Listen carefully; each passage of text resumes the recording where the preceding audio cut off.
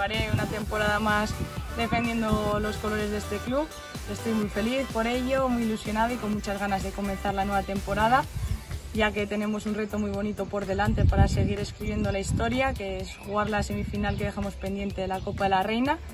Y nada, quería aprovechar este momento para mandarle un mensaje a la afición y decirles que sigan apoyándonos como lo han hecho hasta ahora, que sigan creyendo en nosotras, que nos dejaremos todo en el campo y que seguiremos progresando y mejorando en todos los aspectos. Y nada, que nos vemos pronto, que espero que disfrutéis del verano y hasta pronto.